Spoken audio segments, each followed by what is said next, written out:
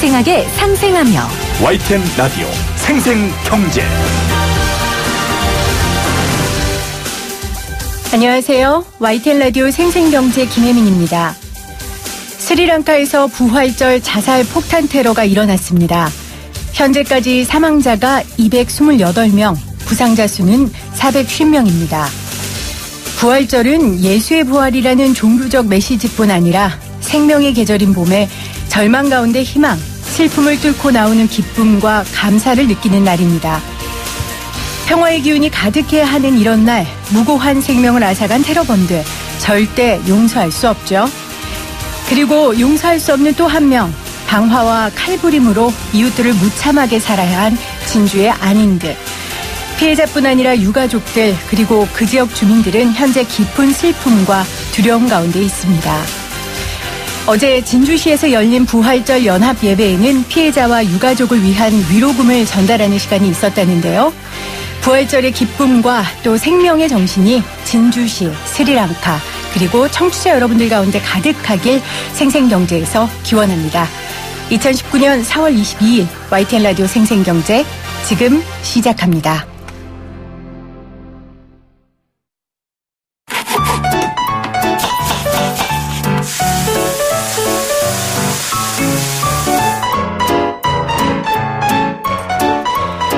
가장 맛있고 싼 제철 식품은 무엇인지 한 주간 재래시장과 대형마트의 생생한 물가 정보를 살펴보는 시간입니다. 월요일마다 함께하는 시간이죠. 장바구니 생생물가 한국농수산식품유통공사 이윤정 대리 연결돼 있습니다. 대리님 안녕하세요. 네, 안녕하세요. 지난주에는 어떤 품목이 오르고 내렸는지 동향부터 살펴볼까요? 네, 지난주는 건멸치가 2.7%가량 올랐는데요. 왜냐면 3월에 해상 기상이 좀 그닥 좋지가 않았거든요. 어, 그래서 조업 일수가 좀 줄면서 이 건멸치 재고량이 감소를 했고요. 지난주 가격은 100g당 2,700원대를 넘어섰습니다. 네. 어, 반면에 이 대표적인 호원성 작물인 피망은 이제 일주일 새 가격이 7.8%나 내렸는데요.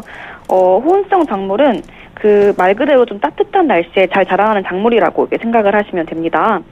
이 지난주부터 기온이 굉장히 높아져서인지 음. 좀 주산지인 경남 진주에서 출하 물량이 증가를 하면서요. 가격 내려서 100g당 1,060원에 거래가 되고 있고요. 또 같은 호원성 작물인 이 파프리카 역시 같은 이유로 이번 주 가격 내려갈 것으로 보고 있습니다. 네, 그렇군요. 어, 오늘 검색어에 그 가장 많이 읽은 기사에 삼겹살 못 굽겠네라는 기사가 이른 거예요. 아, 그래서 네. 제가 깜짝 놀라서 제가 정말 삼 겹살 매니아인데 이거 어떡하나 이래서 네. 들어가 봤더니 지금 축산물 가격이 엄청 올랐다고 특히 돼지고기 가격이 올랐다고 하더라고요. 네, 맞아요. 요즘 특히 전반적으로 돼지고기 가격이 좀 오르고 있거든요. 어, 특히 돼지고기 목살 부위 같은 경우가 음, 100g당 1,700원 정도에 거래가 되다가 이제 일주일 새 8%가 올라서 1,840원 정도고요. 네. 또 국산 냉장 삼겹살 역시 지난주 100g당 1,785원 정도에서 어, 약 6.7% 가량 상승을 해서 1,900원 정도예요. 그 이유가 지금 이 국외에서 아프리카 돼지 열병이 발병이 되고 또 이게 점점 확산이 되고 있어서 그런데요. 그러다 보니까 이제 국민들이 수입산보다는 또 국내산 돼지고기를 찾는 수요가 전부 다 늘어나서 그래요. 네. 네, 그래서 아무래도 이번 주 역시 수요가 이제 계속해서 늘 것으로 좀 예상이 되기 때문에요. 음. 어, 가격 상승세는 이어질 전망입니다. 아프리카 돼지 열병이 우리나라 말고 다른 나라에서 굉장히 심각하다고 하는데 이게 정확하게 어떤 병입니까? 네, 이 돼지, 어, 아프리카 돼지열병이 중국에서부터 시작이 됐는데요. 어, 쉽게 말해서 그 저희가 돼지 콜레라라고 아, 알고 네, 있잖아요. 네, 네. 이 바이러스성 출혈성 돼지 전염병이에요. 음. 이게 사람한테는 전염이 되지 않지만요. 돼지들 사이에서 이제 한번 감염이 되면은 전파성이 강하기도 해서 치사율이 거의 100%입니다. 네. 네, 다행히도 아직까지 우리나라에서는 한 번도 발생한 적이 없긴 하지만 이게 한 번 사태가 걷잡을 수 없이 커지게 되면은 또 산업 전체에 엄청난 피해를 줄 수 있기 때문에요. 저희가 유입 방지를 위한 노력이 좀 필요한 실정이에요. 그렇죠. 네, 좀 어떤 노력을 해야 할지 좀 정리 좀 해주세요. 어, 제가 이제 크게 어, 축산 관계자분들께서는요. 해외여행 하실 때 이제 발생 지역의 축산시설 방문을 좀 자제를 해주시고요. 이 출입국 시 공항이랑 항만 검역본부에 꼭 신고를 해주셔야 합니다. 또 이제 해외여행 다녀오신 분들께서는 이 축산물을 가급적이면 해외에서 가져오지 마시고 혹시라도 이제 휴대를 하게 되신다면은 입국하실 때 반드시 신고를 해주시면 됩니다. 네. 자, 고기 가격 알아봤으니까요. 이제 디저트인 이 과일 가격도 알아보겠습니다. 요즘 참외가 제철이어서 그런지 어딜 가도 참외가 진열돼 있더라고요. 가격은 좀 어떻습니까? 어, 이번 주 참외 가격 좀 착해질 예정, 어, 예정입니다. 네. 요즘 제철 과일답게 참외가 좀 인기가 많더라고요. 근데 아마 이제 장 보실 때 참외 좀 유심히 보시면 어, 올해 특 히 이 크기가 많이 작다고 느끼실 거예요. 네. 네, 왜냐면은 참외 같은 경우는 사실 따뜻한 날씨가 좀 이렇게 지속돼야 크고 실하게 자라는데 요즘 낮에는 좀 따뜻하긴 한데 그래도 아직 아침 저녁으로 기온이 굉장히 쌀쌀하잖아요. 네, 그래서 올해는 크기가 큰 이 대과 비중은 적은데 네. 그래도 워낙 풍미가 좋고 맛이 좋아서요. 음, 참외가 3월 말쯤 출하가 되고 나서부터 이제 4월 초까지는 가격이 좀 꾸준히 상승을 하고 있는 추세였거든요. 근데 아무래도 좀 가격이 계속 오르게 되면은 이제 수요가 조금씩 감소를 하게 되고 네. 이게 또 타 과일로 소비가 좀 분산이 되면서요. 어, 다음 주는 10개당 지금 2만 3천 원 정도의 거래가, 거래가 되던 참외가 더 저렴해질 것으로 전망을 하고 있습니다. 네, 저도 오늘 퇴근길에 참외 한 봉지 사가지고 가야겠습니다. 한국농수산식품유통공사 이윤정 대리였어요. 대리님 고맙습니다. 네, 감사합니다. 쉽다. 재미있다. 어라? 무슨 말인지 이해가 간다. YTN 라디오 생생경제.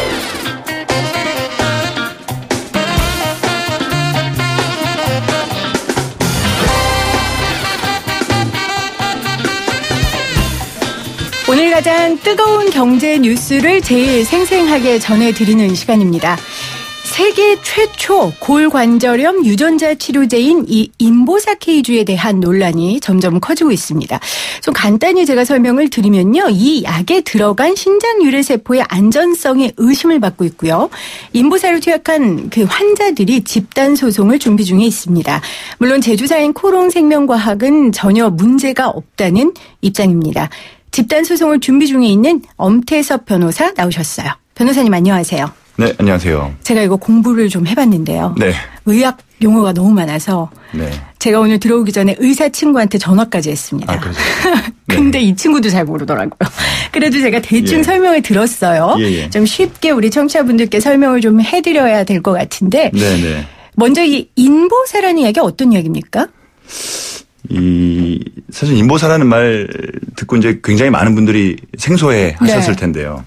이게 이제 퇴행성 관절염으로 이제 고생하는 그 환자분들 그 치료를 위해서 코롱생명과학에서 만든 이제 주사제입니다. 음.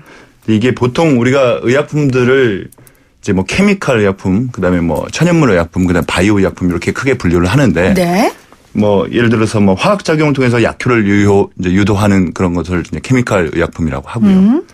그리고 뭐 동식물에서 이제 추출한 성분을 이용해서 만든 것들을 이제 천연물 네. 의약품이라고 하는데 요거는 이제 세포 치료제죠. 즉 네. 이제 바이오 의약품으로서 이 신약으로 전 세계 관절염 환자들의 기대를 한 몸에 받았습니다. 그래서 이번 사태가 더 음. 어, 이번 사태로 인해서 주는 어떤 충격이 훨씬 더 큰 거죠. 그러니까 환자들에게는 얼마나 네. 담비 같은 소식이었겠어요. 그렇죠? 예.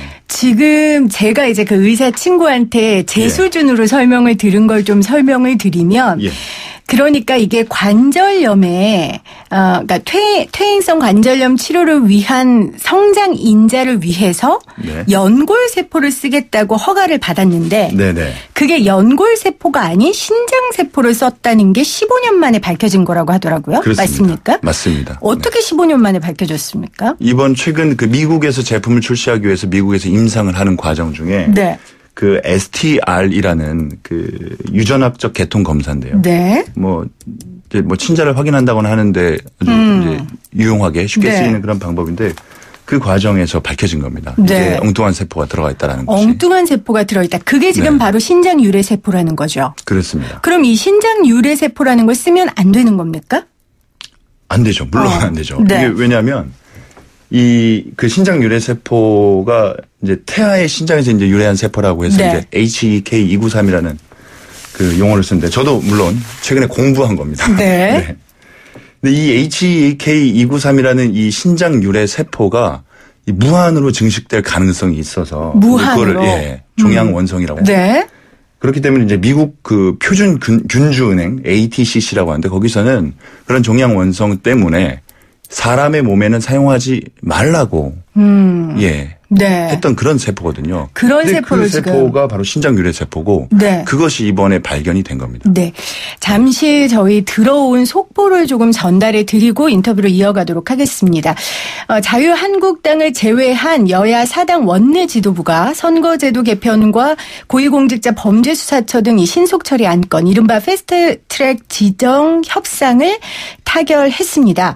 어, 여기에 가장 관건이었던 건 그 공수처 문제였는데요. 이 부분 도 지금 문서 형태 합의안을 도출한 것으로 보이고요. 현재 여야 사당 원내대표가 결과 발표를 하고 있는데요. 저희가 자세한 내용은 어, 들어오는 대로 4시 뉴스에 정리해서 보내드리도록 하겠습니다. 자, 변호사님 다시 네. 돌아와서요. 네. 그러니까 이 신장 유래 세포는 위험하다. 그래서 미국에서도 쓰면 안 된다라고 나온 거를 썼다고 하는데 왜 제가 쓰면 안 됩니까? 라고 물어본 이유는 네. 코롱 생명과학 측에서는 안전성에 전혀 문제가 없다라고 지금 주장을 하고 있거든요. 네, 네. 코롱은 왜 안전성에 문제가 없다고 주장하는 겁니까? 어, 앞서 피디님께서 말씀 주셨던 것처럼 이제 바뀐 처음에 원래 연골 유래 세포로 설계를 했는데 네. 이게 본인들이 이제 그 분리 정제하는 과정에서 음. 신장 유래 세포가 들어갔고 음. 그 점에 대해서 사후적으로 이제 밝혀진 거지 네. 않습니까? 근데 이 바뀐 상태에서 그동안 쭉 임상을 진행해 왔고 임상을 진행해 오는 과정에서 그 환자들에게서 어떤 어떤 위험한 음. 부분도 발견되지 않았기 때문에 사후적으로 어, 신장 유래 세포인 것이 밝혀진 것은 뭐 잘못된 점이고 네. 그 바뀐 과정에 있어서의 과실은 분명히 인정을 하지만 임상 과정에서 문제가 없었으니까 계속 쓰게 해달라는 거거든요. 자, 두 가지를 네. 여쭤볼게요. 그러면 첫 번째, 본인들은 바뀐 거에서 몰랐다는 거예요? 몰랐다는 어떻게 모를 수가 있습니까? 그게 저도 그게 저도 미스테리입니다. 아, 그래요. 그게 저도 미스테리고 사실 뭐 그 이게 몰랐다라는 점에 대해서 반박할 수 있을 만한 합리적인 어떤 의심이 들 만한 여러 가지 정황들은 있습니다만은 네. 근데 아직까지 이제 논란이 되고 있고 그 다음에 음. 6월에 식약처에서 그 결과를 발표한다고 했으니까요. 일단은 그 결과를 좀 기다려 보는 것이 네. 좋을 것 같고 다만 이제 소송을 준비하는 입장에서는 과실이나 고의나 음흠. 어 불법 행위를 구성함에 있어서는 뭐 물론 이제 경중의 차이는 있지만 네. 일단은 진행을 함에 있어서는 뭐 가능하기 때문에 일단은 과실이라는 전제 하에 뭐 계속해서 이제 준비를 하고 있는 거죠. 그러면 네네. 이게 어 알았던 몰랐던 네. 알았던 몰랐던이 아니죠. 알고 계속 그러니까 모르고 한 것과 알고 하는 건 또 그 범죄 가중이 다를 거 아닙니까? 아, 당연합니다. 그쵸? 만약 알고 있으면 그건 약사법 인정되면. 위반이에요. 그건 이제 네. 형사 처벌될 문제인 것이고. 네. 저는 어 적어도 지난 15년 동안은 몰랐다고 하더라도 음. 네.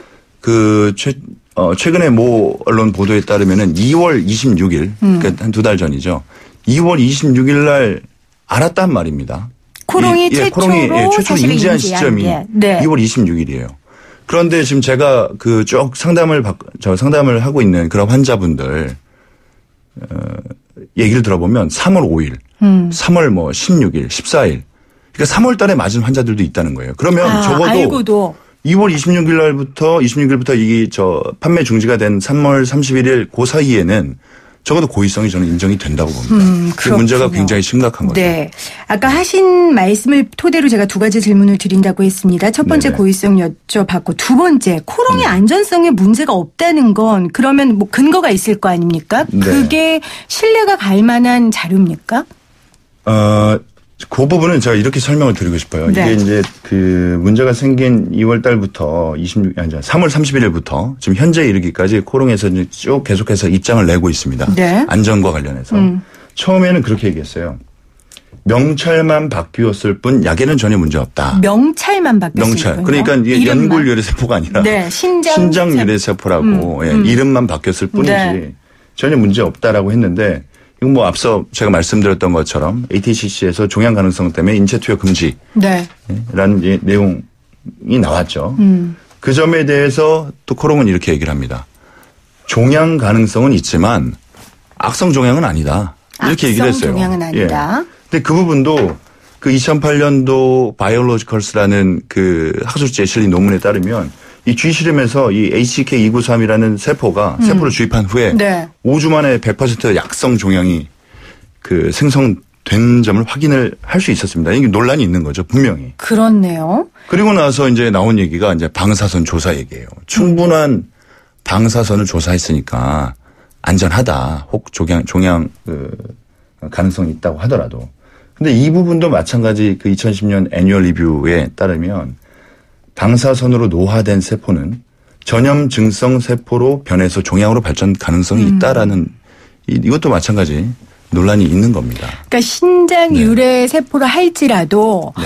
어그 임상 실험을 해보니 문제가 네. 없었다라고 주장을 했고 코롱에선 그렇죠. 그리고 방사선을 충분히 쬐게 쬐서 세포 네. 변형이 됐기 때문에 어, 뭐 문제 없다 했는데 네네. 그 방사선을 쐬서 세포가 변형되면 그게 암 유발이라든지 여러 가지 문제점이 그 나올 수 있다라는 예.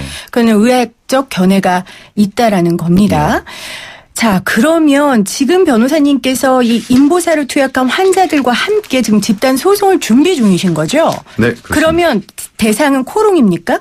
코롱 생명과학이죠. 코, 코롱 생명과학. 예. 현재 소송에 참여 의사를 밝힌 분들이 몇 분 정도 되십니까? 지금 현재 지난 주말까지 해서 약 50여 분 정도가 50여 분. 참여 의사를 밝히고 음. 이제 예. 이게 계시고요. 15, 15년 정도 환자들이 사용을 한 거라면 이게 뭐 보험이 되거나 필요한 치료가 아니라 환자들이 선택적으로 맞을 수 있는 거였던 거죠. 네, 그렇습니다. 그럼 네네. 가격이 굉장히 비싸겠네요. 그럼요, 물론입니다. 고가고요. 뭐 700여만 원 정도. 어. 아, 그리고 700여만 양쪽 무릎에 원. 맞게 되면 1,400, 뭐 1,800만 원 정도 그렇군요. 예, 비용을 들인 환자분들도 계십니다. 몇 명 정도 이 주사를 맞았는지도 통계가 있습니까? 지금 2017년도에 시판이 허가된 이후에 네.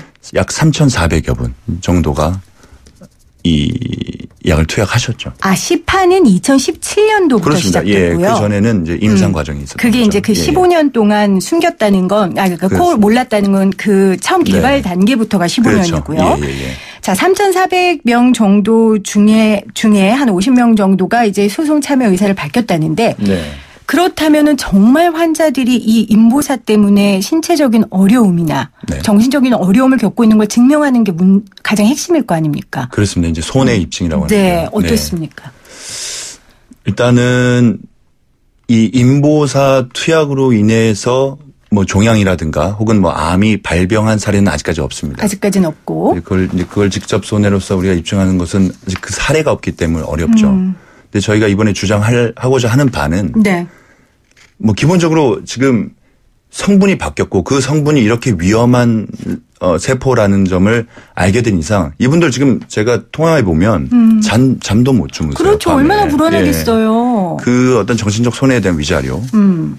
다만 이제 그 부분은 법원에서 아무래도 금액이 좀 많이 인정되기 어렵기 때문에 적어도 그런 위험한 세포가 들어가 있었더라면 선택하지 않았을 네. 들이지 않았을 비용 그게 음. 이제 약값이죠. 네. 네, 700만 원 내지는 1,400, 1,800 정도에 이르는 네. 그 비용을 청구를 해야 되지 않을까 좀 싶은 생각입니다. 네. 정신적으로 불안한 건 법원에서 그렇게 인정이 잘 안 됩니까? 잘안 되더라고요. 어. 어렵더라고요. 네. 그게 제일 저는 문제라고 생각하는데. 네. 환자들이 이게 이제 아직 내재된 위험이지 않습니까? 네. 아직 뭔가 발현되지 않은. 법적으로는 법적으로는, 증명받아서 예, 하기가 쉽지 않다. 뭔가 병이 생기거나 네. 어디가 다치거나 찢어지거나 하는 그런 음. 예 손해가 직접적으로 발생해야만 그걸 손해로 인정해주는 해주고 있습니다. 네. 외국도 그렇습니까? 어, 외국의 사례까지 뭐 제가 구체적으로 다 살펴보진 네. 못했지만 그런 잠재적인 위험 부분은 음. 적어도 그 리걸 이슈라기보다는 어떤 다른 방향으로의 어떤 해결들을 네. 보통 찾는 것 같습니다. 음. 예. 왜냐하면 이건 의약품이잖아요. 그렇습니다. 몸이 네. 불편한 사람들이 자기 몸의 어려움을 네. 조금이라도 개선하고자 비싼 네. 돈을 들여서 그리고 네. 사실 부작용의 위험까지 안고 예. 이 주사를 맞는 건데 이런 불안함이라는 건 사실 내재된 그 불안함이라 할지라도 굉장히 저는 중요한 얘기라고 생각하거든요. 네. 물론입니다. 예. 그래서 이렇게 좀 질문을 제가 드려봤고요. 그러면 예. 일단 그렇기 배상- 때문에 이번 케이스가 정말 중요한 음, 거죠. 네. 예. 그러면 식약청에 대해서는 소송을 안 하십니까? 왜냐하면 네. 사실 식약청이 허가를 하는 데잖아요. 그렇습니다. 식약청에도 전문가들이 있을 거 아닙니까? 이런 물론입니다. 것들을 보는 네, 네. 식약청 입장은 지금 어떻습니까? 식약처는 일단 현재 조사 기관입니다. 네. 코롱 생명과학을 상대로 아 코- 조사를 하고 있는. 예, 현재 조사를 하고 있죠. 네. 6월 달에 이제 조사 결과를 발표한다고 했고 이미 지난 4월 15일 날 중간 조사 결과를 발표를 했죠. 네. 그리고 그때 이제 완전히 다 밝혀내지 못한 고의 과실 여부. 음. 정말로 모르고 몰랐냐? 지난 예, 지난 시간 동안 몰랐느냐에 대해서 이렇게 쉬운 검사 방법이 있음에도 불구하고 어떻게 모를 수가 있었겠는가에 네. 대한 조사 결과가 있을 것이고요. 네. 또 안전성에 대한 판단도 있을 것으로 보이고 그걸로 인해서 이제 최종적으로 이 약을 어 품목 변경을 해서 계속해서 팔게 해줄지 음. 아니면은 그냥 허가 취소를 할지 이걸 6월달에 아마 결정할 것으로 보입니다. 그러면 관리 감독의 책임 있는 식약처는 지금 이 문제에 있어서 자유로운 겁니까? 아, 그렇진 않죠. 네. 저는 뭐 지극히 개인적인 견해입니다만은 네. 전 식약처도 공동 불법 행위자라고 생각을 해요. 음. 당연하죠. 최종적인 관리 감독 기관으로서 안전한 의약품을 국민들에게 공급할 책임이 있는 거죠. 그럼요. 그런 책임을 제대로 이행하지 않았고 네. 또 지난 4월 15일에 발표했던 중간 조사 결과 발표도 너무 마음에 안 드는 게 음. 본인들이 이거를 왜 발견하지 못했는지에 대한 이유만 쭉 늘어났어요. 음. 그거는 사실 국민들이 알고 싶어 하는 내용이 아니거든요. 그렇죠. 국민들은 당장 이 약이 내 몸에 어떤 영향을 끼치는 것이고 네. 이게 뭐 암이 생긴다고 하는데 도대체 어떻게 된 건지 그게 궁금한 건데 네. 좀 답답합니다. 네. 예. 그러니까 뭐 FDA나 식약처가 있는 이유가 국민들이 이 기관에서 공증을 해주고 인증을 해주면 안심하는 거잖아요. 그렇습니다. 일일이 안전성을 따질 수 없으니까. 그렇습니다. 저도 식약청의 책임이 좀 있다고 생각하는데 일단은 손해배상은 예. 이 제조 업체인 그렇죠. 코롱생명을 대상으로 하시겠다라고 말씀을 하셨습니다. 네. 어, 승소 가능성 뭐 어떻게 보세요? 뭐 이걸 하고 있는 변호사님께 여쭤보긴 가장- 그렇지만 네. 예, 가장 어려운 질문이고 네네. 또, 그런, 또 어렵기 때문에 제가 또 가장 자신 있게 대답을 하는 부분이기도 음, 합니다. 뭐 누구도 그 승소 가능성을 보장하고 시작하는 소송이란 건 있을 수가 없으니까. 네. 뭐 저는 사실 100%뭐 확신하고 시작하는 소송은 없지만 뭐 반드시 이겨야 하는 소송이라는 생각은 갖고 있고 또 물론 음. 자신이 있습니다. 이게 저는 이 과학적 근거도 중요하고 또 법 논리도 중요하지만 이건 사실 상식의 문제라고 생각합니다. 이게 사실 굉장히 우리가 어렵게 얘기를 했는데 쉽게 생각하면 우리 동네 슈퍼에 가서 과자를 하나를 사더라도 과자 안에 이물질 들어가 있으면 배상해주고 네. 어, 환불해주고 하지 않습니까? 근데 이거는 의약품입니다. 의약품 안에 지금 이물질이 들어간 거란 말이죠. 음. 그런데 지금 그 이물질 그동안 우리가 쭉 임상해보니까 안전하니까 그냥 먹어라 이거예요. 음. 이게 상식의 문제로 접근하면 사실 굉장히 쉬운 문제입니다. 네.